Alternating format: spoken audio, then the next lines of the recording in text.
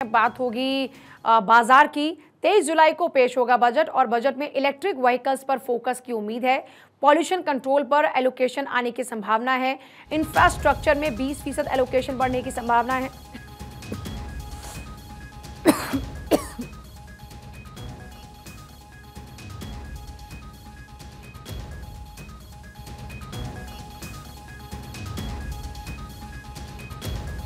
New Zealand की IIP बढ़ने की संभावना है, जर्मनी का ऑटोमोबाइल प्रोडक्शन बढ़ा।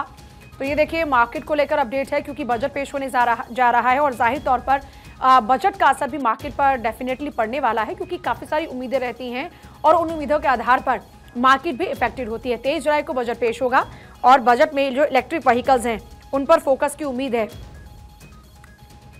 और इसके अलावा पॉल्यूशन कंट्रोल पर एलोकेशन आने की संभावना है। इंफ्रास्ट्रक्चर में 20 फ़ीसद एलोकेशन बढ़ने की संभावना है। न्यूजीलैंड की आईपी बढ़ने की संभावना है। जर्मनी का ऑटोमोबाइल प्रोडक्शन बढ़ा। पॉल्यूशन कंट्रोल पर एलोकेशन इंफ्रास्ट्रक्चर में 20 फ़ीसद एलोकेशन बढ़ने की संभावना। तो देखिए, ज़ाहिर तौर पर देश के इंफ्रास्ट्रक्चर को स्ट्रॉन्ग करने पर फोकस किया जा रहा है। और ऐसे में बजट से काफ़ी सारी उम्मीदें आम जन को भी है और जो इन्वेस्टर्स हैं उनको भी है। क्योंकि सबकी निगाहें इस वक्त टिकी हुई हैं कि क्या बजट में रहने वाला है। इस बीच पॉल्यूशन कंट्रोल पर एलोकेशन आने की भी संभावना है और इंफ्रास्ट्रक्चर में 20 फ़ीसद एलोकेशन बढ़ने की संभावना है।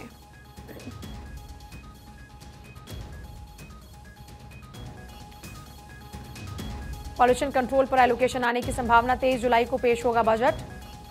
बजट में इलेक्ट्रिक व्हीकल्स पर फोकस की उम्मीद है।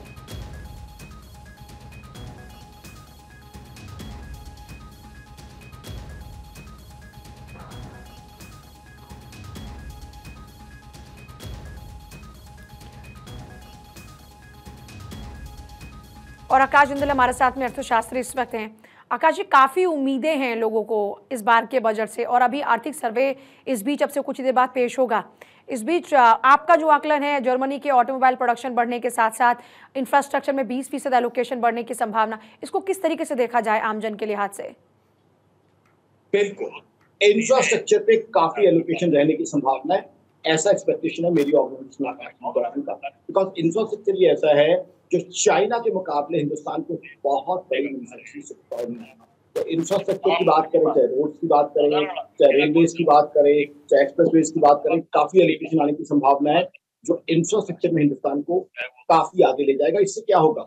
मैन्युफैक्चरिंग में जो एक खाब हमने प्रधानमंत्री साहब के साथ देखा है कि मैन्युफैक्चरिंग में हम सुपर पावर बने। और मैन्युफैक्चरिंग में अगर हम सुपर पावर बनते हैं तो उसका मतलब क्या है? इसका मतलब है बहुत सारा रोज़गार हमारे युवाओं के लिए। आपको याद होगा, देखिए अभी पीछे जनरल इलेक्शन में अपोजिशन में दो ही मुद्दे उठाए थे तो बेरोजगारी एक इन्फ्लेशन तो सरकार का पहला टारगेट होगा बेरोजगारी दूर करना सभी युवाओं को रोज़गार देना और दूसरा इन्फ्लेशन कंट्रोल यानी महँगाई को काबू में करना। तो आई थिंक इंफ्रास्ट्रक्चर इस चीज़ के लिए बहुत बढ़िया सोल्यूशन है कि लोगों को हम रोज़गार दे पाए क्योंकि मैन्युफैक्चरिंग पे हमारा फोकस होगा। उसके अलावा इलेक्ट्रिक व्हीकल्स के ऊपर काफ़ी कंसंट्रेट करने का मेरे हिसाब से एक संभावना लग रही है मुझे। ईवीज पे हम कंसंट्रेट करेंगे तो प्रेशियस फॉरेन एक्सचेंज जो क्रूड ऑयल के ऊपर हमारी लगती है वो हम बचा पाएँगे। साथ ही क्रूड ऑयल के जो डेरिवेट्स है पेट्रोल डीजल इसकी वजह से जो सेहत खराब होती है उससे हम बच पाएँगे।